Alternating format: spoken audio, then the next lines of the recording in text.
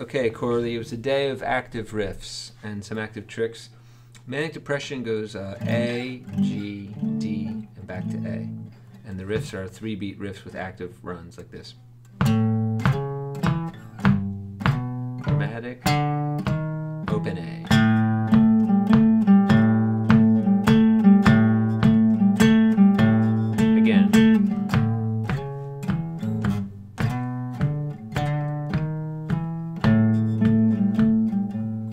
Okay, my girl's in C and does the whole pentatonic scale and then goes right back to the root. Then it does it on the four. On a cloudy day.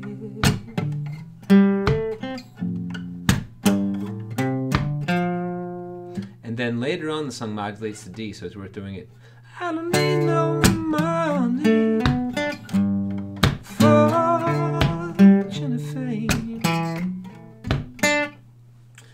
Um, we also discovered the beginning to the Let It Be solo, which if you leave the hammer on out, it's in C. It just goes. And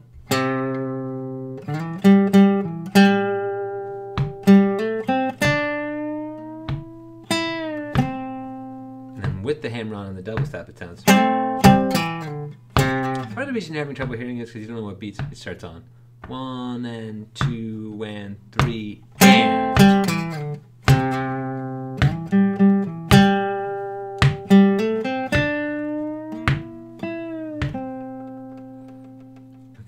Then we just talked about a couple more generic tricks. I'm looking at my notes here. So, you know, you have a C chord, you can connect it to the A form of it. And then the, the scale is the go between. So.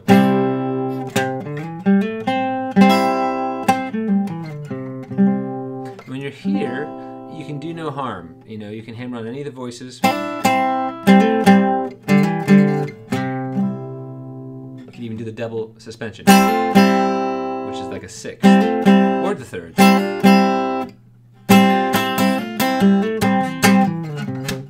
So you can think about those as chord embellishments. So if you're and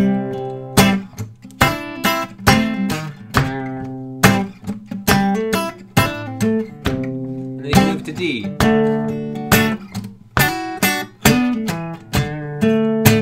You can just kind of have fun goofing off, doing E.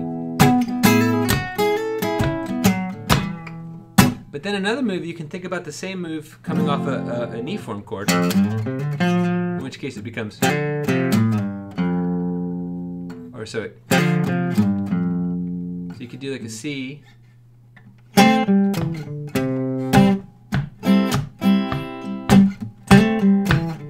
Which then goes to the four chord,